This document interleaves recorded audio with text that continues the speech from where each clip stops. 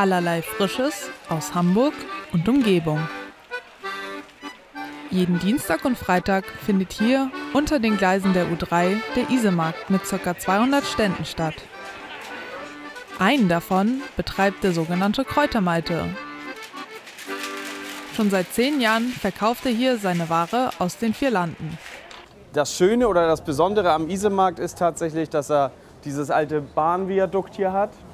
Ähm, jetzt fährt die Bahn auch, jetzt kann man es hören.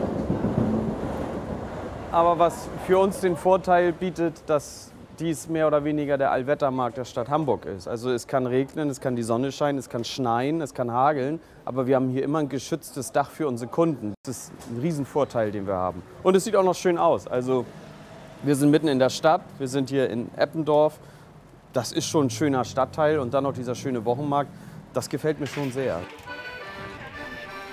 Neben den klassischen Marktprodukten bieten viele Händler auf Deutschlands längstem Freiluftmarkt Spezialitäten und Streetfood aus anderen Ländern an. Aber auch Schmuck, Kleidung und jede Menge andere Souvenirs sind im Angebot.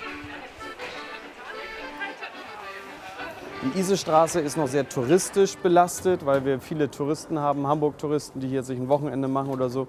Und dann auch im Touristikführer lesen, besucht die Isestraße wovon wir Händler nicht so begeistert sind, weil die, das sind nicht unsere Kunden. Die essen vielleicht eine Wurst oder einen Backfisch oder sowas, aber die nehmen kein äh, Kilo Kartoffeln oder Kilo Spargel oder ein Bund Petersilie mit. Das ist eigentlich nicht das, was wir Wochenmarkt, äh, Wochenmärkte suchen. Wir brauchen den einheimischen Endverbraucher, der bei uns einkauft. Das ist sehr, sehr wichtig. Das darf man nie. Wir sind kein Volksfest. Wir sind Grundversorger. Und das steht auch immer im Fokus eines Wochenmarktes. Das ist sehr, sehr wichtig.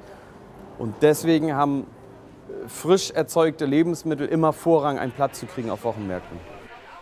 Und die finden ihre Abnehmer. Aber auch sie wissen die Atmosphäre zu schätzen. Ja, einmal kann man schön hier so rauf und runter gehen und äh, sich das angucken. Die ganze Atmosphäre ist einfach schön. Das Flair insgesamt und das Angebot und die Qualität der, der, der, der Waren. Mir gefällt besonders gut die Vielfalt und äh, dass ich also auch meine eigenen Gemüsestände habe, wo ich weiß, dort bekomme ich also gute Ware. Wir haben eine Bewerberliste von über 180 äh, Händlern, die auf die Isestraße wollen. Also wenn man hier als Wochenmarkthändler oder als Erzeuger einen Platz hat auf der Isestraße, ist das schon was sehr Besonderes. Ne? Das ist unter Wochenmarkthändlern schon der Sechser im Lotto.